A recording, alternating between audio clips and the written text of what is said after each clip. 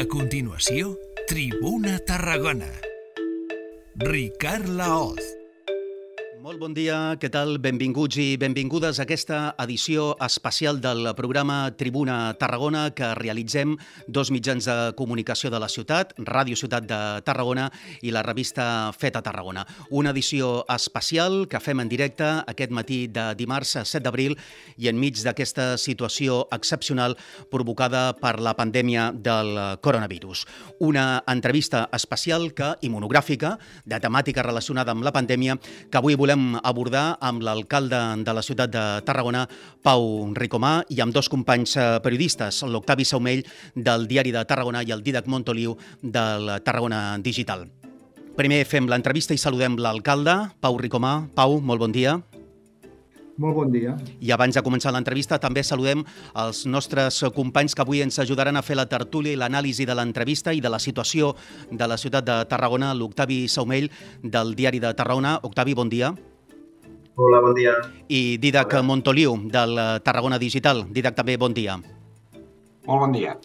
Doncs eh, la primera part del Tribuna Tarragona, com sempre, és una entrevista, avui entrevista monogràfica amb l'alcalde de la ciutat, eh, Pau Ricomà, que l'ha tocat viure, sens dubte, la situació més excepcional de les últimes dècades a la ciutat i al conjunt del país a causa d'aquesta pandèmia del eh, coronavirus. Una cosa, sens dubte, mai vista per moltes generacions. Alcalde, com ho està afrontant, personalment i políticament?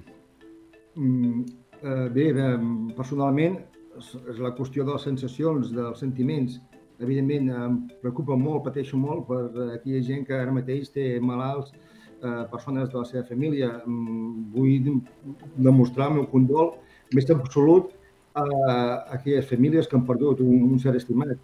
I, d'altra banda, un agraïment molt gran a tota la gent que a peu del carrer està treballant, evidentment els sanitaris, eh, però també molta altra gent, la gent que fa transport, la gent que tenen els establiments d'alimentació, evidentment els periodistes que esteu també treballant al peu del canó, jo crec que hi ha dues sensacions contraposades. Eh, una preocupació, que evidentment és una responsabilitat, i l'altra és eh, un agraïment molt gran. I des del meu punt de vista polític, eh, és això la política, t'hi poses per afrontar les situacions. Si la situació que he vingut ara és difícil, doncs has d'afrontar en tota l'ocupació, la passió, la determinació. En aquest sentit, jo diria que estem, no només jo, sinó tot l'equip eh, que, que estem treballant a govern absolutament obsessionat amb la feina diària. Eh, és una enorme responsabilitat que ens prenem també mm, com una gran dignitat que la història ens, ens, ens ha fet viure. En qualsevol cas, està clar, alcalde, que la pandèmia eh, enterra tots els projectes i totes les previsions, com a mínim les del principi d'aquest mandat. Recordem que Pau Ricoma és alcalde de Tarragona, en farà, encara no fa ni, ni 10 mesos. Eh, quines són, per tant, a partir d'ara les prioritats? Com canvia eh, tot el mandat que vostè havia eh, començat el passat mes de juny? A partir d'ara, eh, què és el prioritari i què canvia respecte als projectes inicial, inicials del seu mandat? Eh, evidentment, aquesta pandèmia, no només a la nostra administració, a totes, eh, tira pels aires eh, totes les previsions. Entre altres coses, perquè tampoc sabem ara mateix en quins terminis eh, hem d'actuar, no sabem tampoc eh, quin cost econòmic i social tindrà això, per tant, hem de preveure tots els escenaris. El primer que hem de fer, el primer que hem fet, aturar el cop, eh, posar-hi tots els ports, eh, evitar contagis, prendre mesures de mobilitat, en tancaments d'espais, etc per, per, per parar el primer cop i sobretot per donar una imatge eh, i un missatge molt clar. Eh, evitem els contactes. Amb això crec que Tarragona ho entès molt bé i la ciutat de Tarragona, els ciutadans, eh, són exemplars a l'hora de fer el confinament.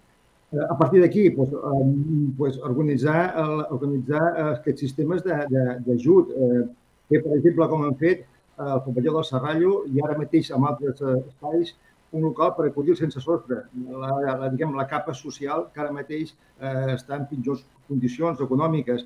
Per tant, també el que està pitjor ha de tenir una atenció. I també, de manera semblant, a la xarxa de voluntaris que estem fent, potser altres iniciatives.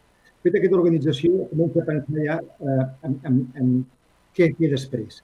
I què fer després vol dir, evidentment, mitjans tots els nostres pressupostos, repensant les nostres il·lusions immediates i, per tant, ara començarà un període de, de renegociació del pressupost inicial, que a més a més vull dir que per part de la majoria de partits polítics, per no dir tots, eh, ja de cop eh, demostrar les ganes d'ajudar i de col·laborar i de formar amb aquest objectiu comú de que Tarragona afronti la recuperació doncs, amb, amb tota l'empenta que siguem capaços, que estic segur que ho farem molt bé. I també no oblidem, i que fins i tot una mica, més encara, no oblidar tampoc a un termini més llarg aquests objectius. Si volem una ciutat cohesionada, si volem una ciutat sostenible, sostenible amb una mobilitat diferent, a la ciutat del segle XXI, evidentment no podem posar aquests esforços, però aquesta mirada a, a llarg abast no hem de perdre de vista. I la mesura que puguem implementar-la, evidentment ho farem. Vostè ja reconeix que s'ha de canviar els pressupostos, podríem dir que de dalt a baix. Eh, amb quines idees, amb, amb quines propostes ja concretes, si és que n'hi ha algunes per part de l'equip de govern, per fer-les partíceps a, a la resta de, de formacions polítiques? Jo crec que hi ha bàsicament eh, dos eixos. Eh, un és la cohesió social. Aquí hem de, eh, hem de mm, intentar treure totes aquelles partides que ara no executarem, precisament perquè no poden fer-se. Per exemple, és molt possible és possible que eh, partides que tenen a veure amb patrimoni, amb cultura, amb festes, eh, amb, fins i tot amb projectes de ciutat de llarg abast, ara mateix no tinguem la capacitat d'executar-los, per tant, hem de mirar d'estalviar d'on puguem estalviar. Eh, el primer objectiu, que és la cohesió social, és per al cop, és que tota aquesta gent que no té feina, que no té ingressos, eh, pugui eh, sortir d'aquesta situació i pugui refer la seva economia i també la seva vida. I l'altre, evidentment, és, eh, primer, cohesió, segon, reactivació. En quins punts eh, podem reactivar la ciutat. I amb això serà molt determinant saber si aquest desconfinament, eh, com s'acaba fent. Si aquest desconfinament eh, progressiu que sembla que es va fer, que segur que serà, una, serà allò d'una prova en cert error, vull dir, si surt bé seguiran, si, si no surt bé haurem de canviar, però eh, la idea que hi ha ara, eh, la taula, és desconfinament progressiu. Això què vol dir? Que alguns sectors eh, econòmics començaran a treballar amb la màxima seguretat, òbviament. Doncs hem d'intentar que aquest, eh, hem d'intentar si hi ha possibilitats que el comerç local, que les petites empreses, els industrials locals puguin anar desenvolupant tot ja com pugui ser possible els seus projectes. I, per tant, un suport molt clar a l'economia local, a la petita empresa, per poder sortir eh, d'aquesta situació el millor possible. Amb quins... Per tant, i reactivació, són les paraules. Uh -huh. eh, li anava a preguntar que amb quins suports s'espera poder fer aquests eh, canvis en radical en els pressupostos del 2020? Nosaltres eh, volem fer amb tothom. Nosaltres demanem a tothom que ens ajudi perquè entenc que ara la situació eh, és la que és. Eh, tothom tenim els nostres grans objectius, que no estem d'abandonar ningú, però és una situació d'absoluta emergència, una situació inèdita. No s'ha mai eh, jo crec que tots serem capaços d'abandonar eh, les nostres allò dèries particulars, els nostres objectius molt legítims, eh, abandonar la gesticulació i sumar per un, per un pressupost que ha de ser comú, que no ha de tenir la signatura de ningú, i ha de tenir la signatura de tots. Eh, aquest ha de ser l'objectiu.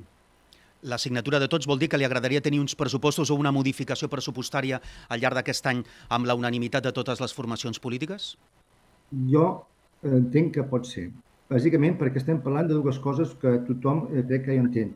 Eh, cohesió social, atenció a les persones que passen pitjor. Eh, jo crec que és un que, que vaja, m'acosta d'entendre que no hi hagi cap grup que, que no comparteixi aquest punt de vista. I la reactivació. Eh, aquí potser hem de posar temps, però al final hem d'arribar a una situació que tothom eh, comparteixi. I crec fermament que de manera immediata la reactivació s'ha de fer a partir del teixit eh, econòmic eh, nostre, propi i, i com pot, eh, com més previsible, es comença el desconfinament progressiu per exemple, del petit comerç, doncs el petit comerç, evidentment, ens hi hem de buscar i hem d'aprofitar l'ocasió. Eh, hi ha sectors que patiran, que, em preocupen molt. Em preocupen molt, per exemple, el, el, el turisme.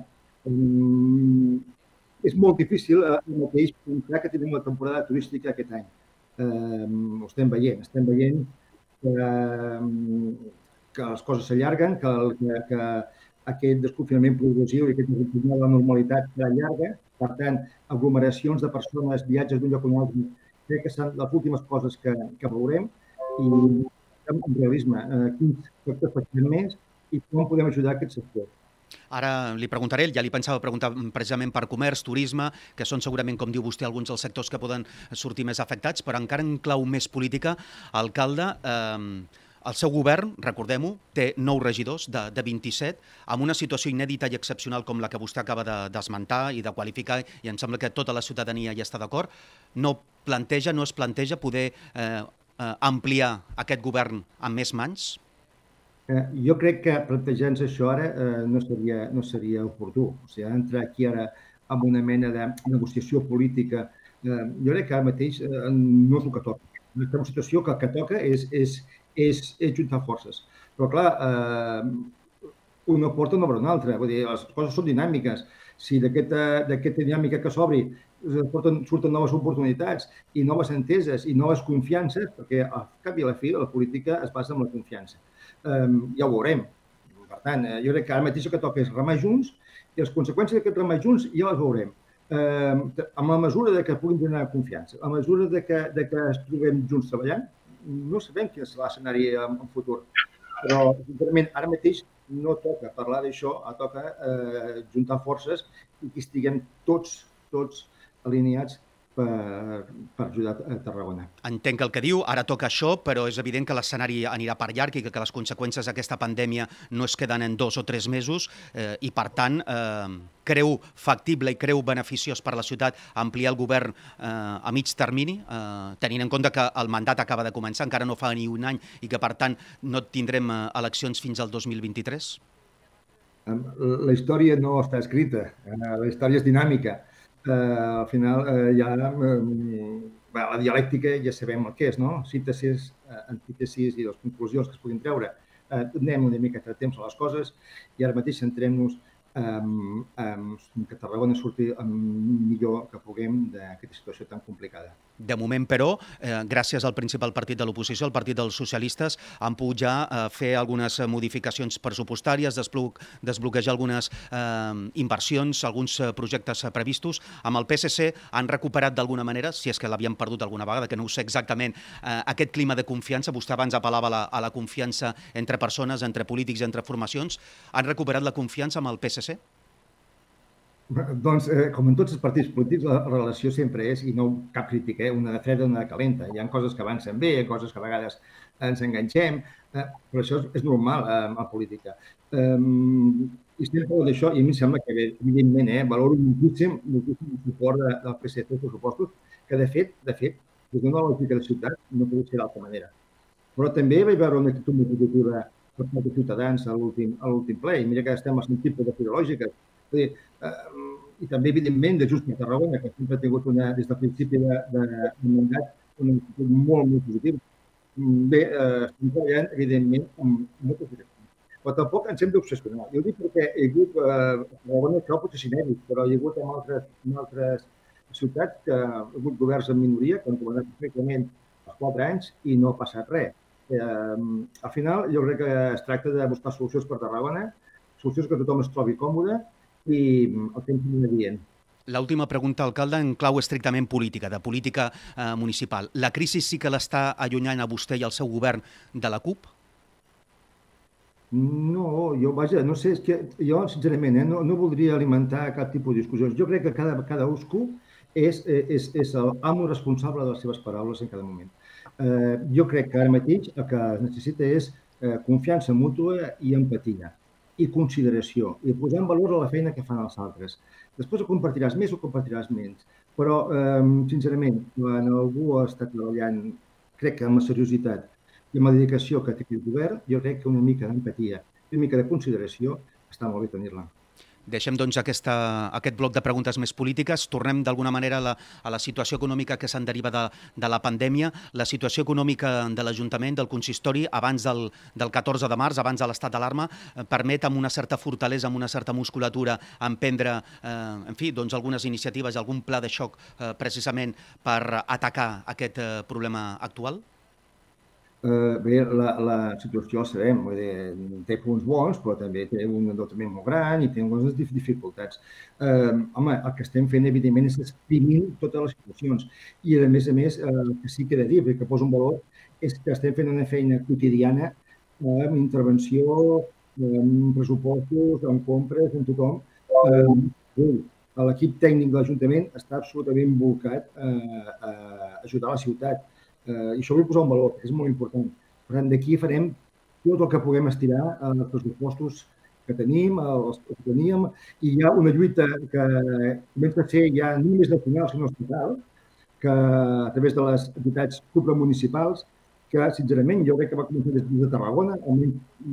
No sé si ningú va dir abans que nosaltres, abans que jo, perquè va ser eh, la reclamació de que els ajuntaments puguem disposar dels nostres superàvits, dels romanents de l'any anterior.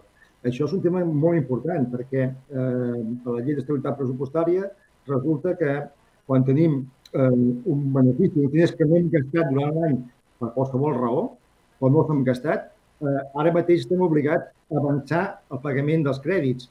I amb aquesta situació actual em sembla que és una mesura absolutament fora de lloc. El que hem de fer ara tots els ajuntaments és disposar d'aquests diners, que Tarragona venen a ser 6 milions i mig aproximadament, disposar d'aquests diners precisament per poder fer les polítiques de, de cohesió, les polítiques de reactivació que necessitem. Això eh, ja ha estat assumit per l'Associació Municipal, l'Associació de Municipis de Catalunya, per la Federació de Municipis, però també per l'Espanyola. Crec que tots els ajuntaments de l'Estat tenim molt clar que la primera porta que truquen els ciutadans és a la nostra, a l'Ajuntament. És de nosaltres que demanen solucions immediates, no tenen menjar o quan no són capaços de pagar un lloguer. Per tant, necessitem un mínim de musculatura. Ja no demanem més diners, demanem només disposar dels nostres propis estalvis, d'allò que no hem gastat Sembla que és una postura absolutament raonable. Uh, ja, ja ens han fet, o ja han anunciat al llarg d'aquests dies, aquestes tres setmanes de, de confinament, diverses mesures de, de xoc. Uh, pensant en el futur més immediat i citant alguns dels uh, sectors que vostè esmentava, que també em semblen especialment crítics, el petit comerç o el sector del, del turisme. Uh, vostè es reunirà amb tots els sectors de la ciutat i, per tant, també amb, amb el petit comerç i amb el turisme, amb algunes idees concretes per part del consistori, buscant la complicitat dels sectors i escoltant uh, què proposen? Bueno, efectivament, eh, cal escoltar què proposen, però, però eh, em, em sembla, que em puc equivocar, perquè tot això és molt canviant, però em sembla que la posició mateix del comerç i del turisme són una mica diferents. Eh, eh el comerç, eh, evidentment, té un problema molt gran. Un dels problemes que té el comerç ja no d'ara era també altres coses al peu de, de, dels, dels lloguers que estan pagant. Eh, estem eh, intentant fer uns esforços en aquest sentit Eh, eh, estem ultimant, treballant una proposta econòmica per afavorir la mediació entre, entre propietaris i comerciants. Ho estem ultimant, per tant, no puc donar el detall perquè no ho tenim tancat, però estem treballant molt que pugui ser una, una proposta que puguem implementar, perquè han de ser coses que puguem tirar endavant. Però jo crec que estem eh, a la línia de buscar aquest tipus d'ajudes. I, evidentment, estàvem ja, eh, ja llançant, al punt de llançar, tenim a porta una campanya molt potent eh, per donar suport al, al, al comerç de proximitat que vam haver d'aturar. Evidentment, aquesta campanya, en la mesura que, que s'obri les possibilitats, ens hi llançarem. Ens hi llançarem de cap, perquè és que, a més a més, el petit comerç no és una necessitat d'ara. Sempre hem dit que el petit comerç eh, a mediterrània eclosiona, dona seguretat, dona vida, forma part intrínseca de la societat i, per tant, ens hi volcarem. Eh, dit això, aquesta és una situació que jo entenc que es podrà enfocar perquè eh, sembla que el confinament eh, parcial o, o per fases, el petit comerç tindrà lloc aviat. El tema del turisme ja és bastant més complex perquè depèn de, doncs, de fluxes de gent que ara mateix eh, és el que menys, eh, menys eh, facilitat es produirà i també en molts casos, per si actes públics, etc per, per, per aglomeracions humanes, per, per, clar, per, i això també, evidentment, és les coses que produiran eh, hem de mirar exactament el nostre sector del comerç i s'han de fer una radiografia de, de, de, de, turisme, s'han de fer una radiografia molt clara de les necessitats i, evidentment, intentar, intentar ser útils el ser possible. Però jo diria que partim de dues situacions, eh, almenys d'origen eh, diferents. Ja ho deia en la, en la primera resposta, crec, del, de l'entrevista, alcalde, que, eh, en fi, amb la nova situació cal canviar absolutament totes les eh, prioritats i que s'han de deixar davant d'alguns projectes. Per preguntar-li de manera concreta, oblidem per una bona temporada, per una llarga temporada, fins i tot per tot el mandat, projectes com, per exemple, el del Banc d'Espanya i el de la Ciutat de Repòs i Vacances, que, per cert, s'havien anunciat eh, recentment?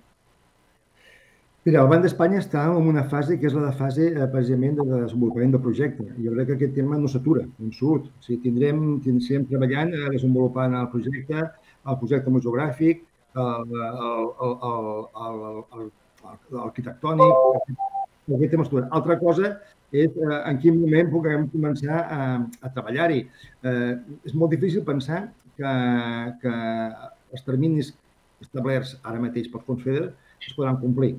Però també és, és evident que la Unió Europea trobarà en aquesta situació en molts llocs. Per tant, potser haurà, haurà de plantejar, o segur, o pròrrogues o altres situacions, que depenen de nosaltres. Nosaltres farem la nostra feina, l'estem fent. Tot el projecte està tirant endavant des d'un punt de vista arquitectònic, museogràfic, el que és el projecte. Sobre el tema de, de, de la ciutat de repòs i vacances, doncs, evidentment, el compromís especificat per joventut eh, és el que és. Eh, però, clar, a veure, la voluntat de, de la joventut no costa que és tota, però, sincerament, eh, estem en una situació que estem tots, que, que ara mateix eh, hem de preveure tots els escenaris, la veritat. Eh, no sabem que durarà, no durarà aquesta, aquesta pandèmia, eh, no sabem quin esforç eh, dels serveis socials s'haurà de produir, mm, no sé, estem... Eh, per exemple, que el projecte que és que, que segur que és intocable, que arribarà a bon port i que s'acabarà en temps perquè és absolutament imprescindible. Tothom ho té molt clar, és el Joan 23. Tothom ho té claríssim i això seguirà endavant amb els terminis que s'ha de fer i perquè, a més a més, hem demostrat que tenim absoluta necessitat i que, a més a més, serà un centre de referència en, en tot el camp de Tarragona.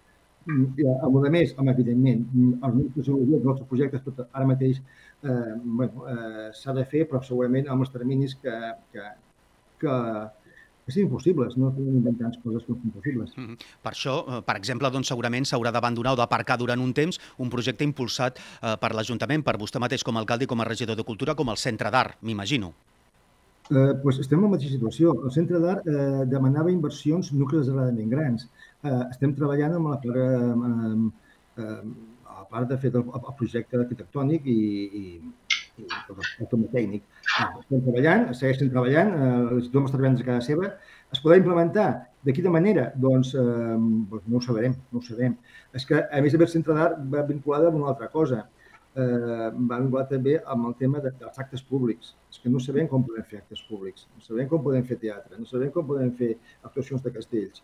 Eh, tot això no depèn de decisions municipals, depèn de les, de, de les normes que, que, que les autoritats sanitàries posin. Eh, per tant, nosaltres treballem tots els escenaris per dir tot a punt, eh, però al final, eh, situació que és absolutament inèdita, ens anirà marcant els terminis reals d'execució. Mm -hmm. Ja que parlem de, de cultura, precisament volia acabar l'entrevista, senyor Rigoma, parlant d'alguns aspectes relacionats amb la cultura, perquè vostè, recordem que també és regidor de Cultura, si hem parlat del petit comerç i del turisme, el sector cultural també, déu nhi com sortirà de, de tocat d'aquesta crisi.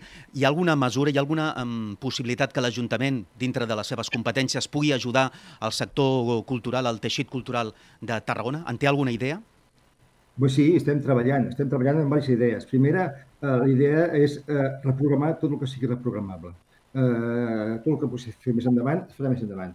També tenim l'idea de totes aquelles subvencions eh, o convenis que, que estiguin adreçats a, a activitat professional, que estem intentant fer l'estudi de quina manera podem fer bestretes per avançar els diners i ja executarem els coses quan toqui. Això ho estem estudiant amb, amb, molta, amb, molta, amb molta diguem, dedicació i, i una feina de bisturí. Entenem que no és el mateix l'acció la, la, cultural aficionada amateur, que té un valor immens, que jo mateix hi participo, que la professional. Ara mateix es preocupa molt la professional, la gent que s'hi guanya la vida. Per tant, intentarem fer bestretes de que les activitats s'hagin de desenvolupar molt més endavant. No hi ha problema intentarem, eh, per exemple, les compres que estaven previstes, de, que són petita, a les llibreries eh, per part de la biblioteca nostra de Torreforta, eh, les executarem. Farem les compres, encara que de moment els llibres hagin d'estar en un, en un, en un, en un magatzem. Eh, tot el que pugui ser compromisos, avançar amb estretes, eh, ho farem. Tot el que pugui ser reprogramar i salvar situacions, els farem. El personal dels teatres, que és una empresa externa, eh, tothom cobrarà la feina feta totes aquelles, totes aquelles eh, activitats que se suspenen, el personal es cobrarà igual. Eh, ara estem ja capficats amb el tema de Sant Jordi. El tema de Sant Jordi, que és un tema molt important per sector cultural i pels llibreters, eh, ara mateix no sabem si en aquelles dates les llibreries podran estar obertes. Evidentment, la festa de Sant Jordi del carrer no, les llibreries sí.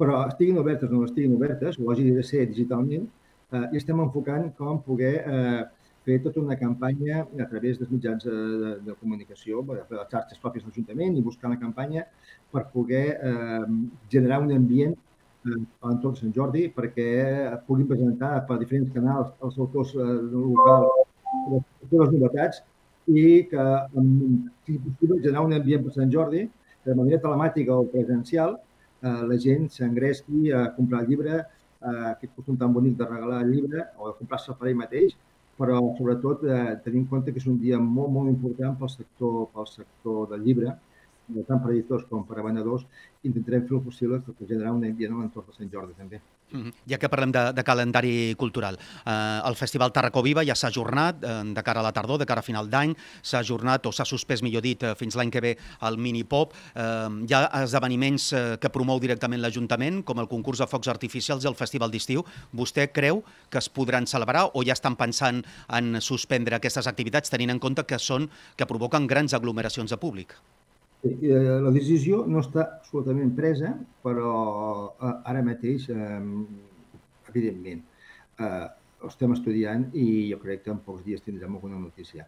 El Festival d'Estiu, precisament, m'ha fet molta il·lusió recuperar-lo, perquè recuperar un espai emblemàtic, però bueno, les circumstàncies són les que són i jo crec que en pocs dies podem acabar anunciant quines coses queden suspeses i quines queden, quines queden ja... Mm, podem passar de data i quines queden suspeses. I com creu que els efectes de la pandèmia, sobretot pel tema del distanciament social eh, que això està provocant, ens poden afectar festes com Sant Magí o Santa Tecla? I estan, i estan treballant? Creu que alguns actes, per exemple, s'hauran de suspendre? Mireu, eh, és que tots estem igual. Ahir mateix hi havia un article de que, de que Sant Fèlix, a eh, Valls, que és el 30 d'agost, per tant, entremig o sigui, més tard de Sant Magí i abans de, de Santa Tecla, doncs estan pensant què fan. És que la situació és absolutament igual a tots els ajuntaments, a totes les festes. Eh, pot ser que no puguem fer-les. Siguem clars, pot ser que no puguem fer-les. Ara bé, què hem de fer nosaltres? Nosaltres treballar mm, a l'equip de festes com si es poguessin fer. Nosaltres hem de seguir treballant, preparant-les, evidentment evitar compromisos econòmics amb ningú perquè no són, però tenir la programació preparada perquè, no sé, imaginem-nos que per unes coses d'aquestes, amb aquesta competència que hi ha ara mateix per trobar vacunes, resulta que el 30 de juliol eh, surt una vacuna. Bé, doncs, evidentment, eh, coses canviarien. O eh, que eh, hi ha diferents situacions. Per tant, eh, nosaltres encara no hem pres la decisió, però, evidentment, eh, ara mateix eh, no està ni molt menys assegurada. Eh, és evident que no han pres la decisió perquè és massa aviat, però sí que treballen amb l'escenari d'haver de suspendre les festes. Evidentment. O sigui, tenim, tenim un escenari que, eh, així, a veure, eh, eh, els escenaris poden ser molt bèsties i poden ser molts, però poden ser tan, tan, tan, tan durs com fins a final d'any no poder fer actes, eh, actes públics massius. Pot ser, eh? eh? Per tant, ho hem de treballar tot pensant en tots els escenaris. Mm, d'una banda, és evident que festes com Santa Tecla eh, donen molta vida a la ciutat, eh, donen molta vida al, al, al, al sector turístic, al, al, sector, al sector de restauració, eh, donen eh, orgull de ciutat, això és, és, és obvi, no? I seria meravellós poder celebrar-les. Eh, I, a més a més, amb les ganes que tindríem tots de poder celebrar-les. Però també és cert que la situació és, és, molt, és, molt, és molt forta i, a més, és cert una cosa, que tots hem de tenir molt en compte i això sí que m'agradaria aprofitar que acaba l'entrevista per dir-ho. Eh, aquests dies hi haurà segurament un plantejament de desconfinament progressiu. Que ningú confongui això amb un tema de relaxació d'actituds eh, hem de ser molt, molt, molt estrictes en tot, amb les distàncies, amb, amb les mascaretes, amb els guants, aquest, precisament aquest, aquest moment de, de, de desconfinament és especialment perillós eh, si algú ho interpreta malament. Eh, per tant, això va per llarg. Si anem fent les coses ben fetes, serà més curt. Si se relaxem i caiem en, en, en falses, en falsos imatges de que tot va millor, eh, eh, direm enrere, molt radicalment. Uh, mira, parlant amb un amic meu que és científic i és, i, és casteller, l'altre dia comentava, de, parlo sovint, no? I, i, i em deia, uh, aquest castell, uh, ho agafarem, ho superarem, però aquest castell, el castell de València de la pandèmia, encara no el tenim ni carregat. I llavors sí, dic, oh, eh, bueno, és, és aquell moment que es posen els, els, els dosos drets que eh, punt de dalt eh, ha d'entrar, que és un moment crític. Doncs pues estem en aquest punt, en aquest punt crític. Eh, si ho fem bé, en sortirem aviat millor. i ens relaxem, eh, patirem molt més durant un temps. Ens quedem, alcalde, amb aquest eh, missatge per acabar l'entrevista, però ja que ha fet la metàfora castellera, permeti'm també preguntar-li, vostè que és casteller, també podem donar gairebé eh, per suspès el concurs de castells d'aquest any, tenint en compte que la temporada castellera, en fi, veurem quan comença i veurem també quines ganes tenen els castellers d'assajar construccions aquest 2020? El, el problema dels castells, no només de, del concurs, és que mm, per fer castells eh, se necessita també tot un assaig previ de molts dies. Normalment els colles s'assagen dos o tres dies per setmana Clar, eh, aquest assaig no es produirà, no es produirà, no sabem fins quan. Eh, evidentment, jo crec que ara mateix eh, segueixo fent com a Santa Tecla, eh? Vull dir, tenim allí i anem treballant i anem buscant les coses, però, però hi ha un interrogant molt gran sobre ell. I ja l'última, li pregunto, perquè a més vostè és casteller, si s'acaba suspenent aquest concurs, vostè l'ajornaria pel 2021, tenint en compte que és un certamen bianual? És una decisió que haurien de prendre sobretot amb les colles. Aquí sí que la meva opinió val acabar, però val sobretot el de les colles que caminen. Jo crec que si l'any que ve es pogués fer, estaria bé fer-lo, però, però bé, evidentment el, castell, el concurs ha de seguir, eh? si ha de seguir l'any que ve o d'aquí dos anys, no ho sé. Però el més normal és que sigui l'any que ve, perquè entenem que l'any que ve la situació està normalitzada plenament. Així hauria de ser, si no seria ja... El problema no seria el concurs de castells. L'any que ve el tema està normalitzat, el problema seria molt més bèstia. Uh mhm. -huh. Per tant, normal que fos així. De totes maneres, jo no em vull avançar res. Crec que ha de ser els colles que participen al concurs els que vagin més o menys també dient la seva, la seva, la seva punt de vista i vagin modulant el, el discurs eh, sobre què hem de fer i com ho hem de fer. Alcalde Pau Ricomà, moltes gràcies eh, per compartir aquesta estona en directe amb els oients de Ràdio Ciutat de Tarragona. Gràcies per participar-hi i ens quedem, com dèiem, amb aquest missatge en metàfora castellera. No? Estem aixecant un castell i encara no hem arribat a, a carregar-lo. Per tant, eh, en relació a la pandèmia i al confinament, encara queda molta feina per fer. Alcalde Ricomà, moltes gràcies, com dèiem, i fins la propera. Que vagi bé. Bon dia. Moltes gràcies, bon dia i felicitat a la gent de Tarragona pel bé que ho està fent. Gràcies, gràcies alcalde Pau Ricomà en la primera part d'aquest eh, programa, d'aquest eh, Tribuna Tarragona, que per cert és possible eh, tècnicament gràcies a la gran feina del Toni Garcia. Nosaltres fem aquí una petita aturada per la publicitat, acomiadem l'alcalde i de seguida tornem a saludar els companys periodistes Octavi Saumell i Didac Montoliu. Fins ara. A continuació, Tribuna Tarragona.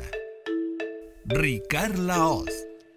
Seguim en aquesta edició especial del Tribuna Tarragona, en directe aquest matí de dimarts 7 d'abril, després de la conversa, després de l'entrevista amb l'alcalde Pau Ricomà, temps d'anàlisi, temps de reflexió per comentar algunes de les coses que ha dit l'alcalde en, plena, eh, en plena pandèmia, en plena quarta setmana de confinament. Recordem que ja portem eh, més de tres setmanes amb l'estat d'alarma, hem començat ja la quarta setmana de confinament i tenim a casa seva també teletreballant, com moltíssima gent, els dos companys periodistes que avui ens acompanyen, l'Octavi Saumell del Diari de Tarragona. Octavi, bon dia de nou. I també saludem Didac Montoliu, company del Tarragona Digital, també des de casa seva. Didac, bon dia. Bon dia, Ricard. Bon dia, Octavi. Doncs, eh, en fi, a partir del que ha dit eh, l'alcalde, Didac, començo per tu. Eh, avui segurament la, en fi, les interferències en una tertúlia seran més difícils, així que us demano segurament que fem cada torn eh, el seu. Eh, Didac, començo per tu. Un primer titular, un primer comentari a partir del que, del que ha dit Pau Ricomà en aquesta entrevista. L'entrevista m'ha semblat molt completa, amb una repassada per tots els temes que estan sobre la taula, eh, entenc que eh, l'alcalde encerta molt bé l'anàlisi, eh, en l'anàlisi quin, quins són els camins que s'han de seguir, encerta els sectors més tocats, que ja el sector comercial de Tarragona no el teníem especialment bé, com per a sobre rebre eh, aquest cop, i, i simplement l'entrevista serveix per reivindicar la política de proximitat de, de tots els alcaldes, que, com molt bé ha dit, són la primera línia de batalla. I, i i s'han de reivindicar. Més enllà d'ideologies i de colors polítics, s'han de reivindicar, reivindicar tots els alcaldes. Octavi, Octavi Somià, el teu primer comentari. Em centraria sobretot en, en l'aspecte cultural, no? en l'aspecte de, de Pau Ricomà com a, com a regidor de, de Cultura. Eh, es nota que, que l'alcalde va, va veure l'Oriol Mitjà l'altre dia al, al de, de TV3, que ell va dir que, que fins l'octubre no veu activitat eh, doncs, amb grans esdeveniments, eh, ho ha posat tot en l'aire, eh, ha posat tot a l'aire des del concurs de foc, el festival d'estiu, Sant Magí, Santa Tecla, el concurs de castells, eh, el que deia el Didac, no? una anàlisi molt realista eh, de la situació, eh, no, sense tirar eh, coets en l'aire, sense generar falses expectatives i que ara mateix el calendari no depèn de Tarragona, sinó que depèn doncs, de la situació general i que s'hauran de canviar tots els pressupostos. Mm -hmm. Clar, les prioritats són les que són. Al fil d'això que, que comentes, eh, Octavi, eh, precisament eh, posant l'aire tot el calendari cultural i festiu de la ciutat i dir-li al ciutadà en ple mes d'abril, quan encara només portem eh, doncs això, eh, quatre, quatre setmanes, aquesta és la quarta setmana de confinament, que probablement no hi haurà grans esdeveniments culturals, que probablement no hi haurà festes i que probablement no hi haurà concurs de castells, això, eh, Didac, per exemple, et sembla realista, et sembla pessimista, et sembla un toc eh, d'atenció als ciutadans per dir-li d'alguna manera també que això, que això va per molt llarg? És que eh, ens hem de dir la veritat, ens hem de dir la veritat en, en aquest tipus de situació i jo ho agraeixo, prefereixo, prefereixo visions realistes, encara que siguin dures, que, que tirar de Paulo Coelho de manual o, o de o tasses del Mr. Wonderful, d'aquestes de tranquils que tot anirà bé. No, no, no està anant res bé. No, no està anant res funcionant com hauria de funcionar. I la cosa segurament anirà pitjor. Per tant, a mi un polític que transmeti confiança, que, que transmeti realitat, dius, em, em, em genera molta confiança. Sí que tinc dubtes per lo que ha demanat ell, que ha demanat ha obert la mà a, a totes les forces polítiques per fer les modificacions pressupostàries que, que siguin de menester que cal s'acabi imposant sobre aquesta situació, sobre aquesta petició. Ja es van veure petites pinzellades com el, el regidor més jove que tenen, els socialistes, per, per Twitter li va fer un comentari a l'alcalde durant el ple que, que, no, que no venia a compte, que si l'alcalde li havia faltat el respecte a l'anterior batge, dius, home, no, no toca, no toca. Petites relliscades, relliscades que estan tenint, com, com, com estan tenint Esquerra al seu mateix grup, com, com explicava l'Octavi, em sembla que ahir, el, el tema de la, de la Paula Vares, de la regidora, que també és una relliscada fora de ter. Tant de bo la bona voluntat s'imposi sobre el partidisme. El que passa és que conec molt bé la classe política i en tinc dubtes. Doncs abordem una mica eh, aquesta vessant més, més política. Eh, veieu la possibilitat, eh, sobretot potser amb el Partit dels Socialistes, tenint en compte com va anar el plenari de la setmana passada, que hi hagi eh, una mena d'aliança entre el govern actual, eh, recordem, nou regidors de 27, i el principal partit eh, de l'oposició, que hi hagi una aliança com a mínim amb aquest, entre aquestes tres forces polítiques i potser també Junts per Tarragona per tirar endavant aquesta, aquests canvis eh, tan importants en els pressupostos. Octavi, ho veus possible? Possible? Ho veig possible i ho veig factible i, de fet, eh, així ho ha anunciat el, el, el propi exbatlle, no? Josep Félix Ballesteros. Eh, es mostra obert a, a reprogramar tot el, tot el pressupost, eh, té experiència de govern de, de fa 12 anys, no? estat entre el 2007 i el 2019. Eh, Ballesteros, eh, Begoña Floria, Pau Pérez, que són els que estan a, ara mateix al grup municipal de tota tota aquesta època, van patir la crisi econòmica més dura que es recordava fins, la, fins a. Eh, no només el, el, el PSC, Ciutadans també està obert a, a pactar uns nous pressupostos, a posar per davant un pla de xoc municipal eh, i deixar de banda doncs, el, el que faci falta. El, el propi alcalde doncs, ha parlat de, de paralitzar doncs, inversions que no siguin necessàries doncs, per fomentar la cosa social i la econòmica jo crec que anem, eh, no sé si cap a un govern de, de concentració, però sí que anem cap a, cap a un, no, uns modificatius de crèdit eh, doncs amb, amb, amb, no sé si amb unanimitat, però sí amb una, amb una, àmplia, amb una àmplia majoria. No? Eh, ara mateix doncs, ja s'ha aprovat doncs, un sector crèdit de 15 milions per salvar nòmines i pagaments a, a proveïdors. Eh, la situació és que és la que és, és la pitjor situació, jo crec, des de de, de, que recorden de la pitjor situació dels ajuntaments democràtics i, i jo crec que ara mateix la gent, la ciutadania, eh, la gent que està en vertes, la gent que està sense feina, els autònoms, no entendrien un altre posicionament de, dels partits que no sigui eh, deixar de banda els colors polítics i, i tirar endavant eh, la ciutat. Jo crec que és el que exigeix la gent i, i ho estem veient no només a,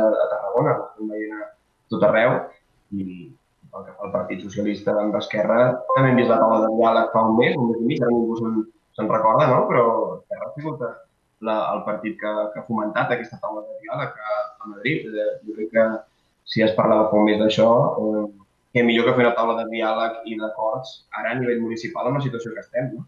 Mm -hmm. Didac, tu també ho veus més o menys igual que l'Octavi? Jo, eh, a veure, pel que fa a Ciutadans, eh, coneixent el perfil, això serà més aviat de persones. I coneixent el perfil del Rubén, jo sí que veig a Ciutadans i al Rubén amb tota la capacitat del món de, com se diu en castellà, d'arrimar l'ombro. Dius, el Rubén prioritza el tarragonisme per davant d'una certa disciplina de, de partit i sempre s'ha expressat en aquesta línia. Perquè fa, a, a la gran incògnita és el PSC. El Partit Socialista ara per ara és un animal ferit. És un animal ferit que acumula un desgast polític per la gestió del coronavirus i per errors no reconeguts, que n'han tingut, n'han tingut molts, dius, que no se sap per on pot sortir. No se sap per on pot sortir. El Partit Socialista té ara gent que, que, que està reconeguen errors, gent que diu que no tenen res de, de què disculpar-se. Hem vist entrevistes totalment contradictòries pel que fa al nivell del govern de l'Estat. El ministre de l'Interior dient fent un Mariano Rajoy i dic amb lo de l'europea i dient i, Itàlia què? Saps? I la ministra de Defensa dient que sí, que s'han comès errors.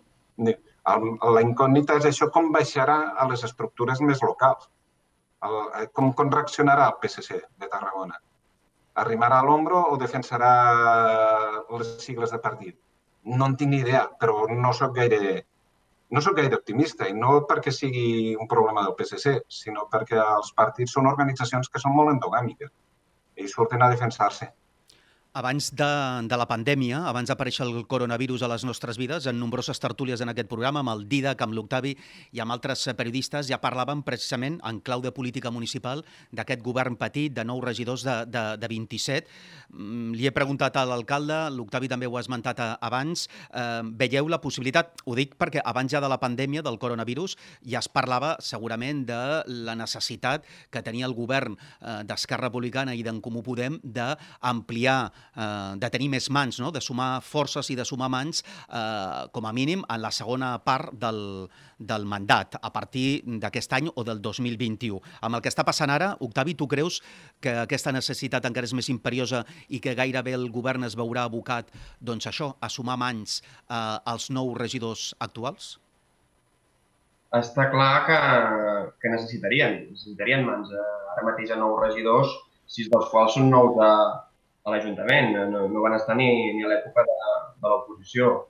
No ho sé si serà el, si, si això es traduirà en, un, en una ampliació del, del govern. Jo crec que el primer que podria entrar al govern i que així s'ha ofert no? públicament i de manera directa és a eh, Didac Nadal, és a eh, Junts per Tarragona. Eh, si entrés, de fet ja presideix Espinsa, eh, pràctica és pràcticament el regidor de, de comerç, ja, el Didac Nadal, eh, si cressin ells, ells tres serien, serien 12.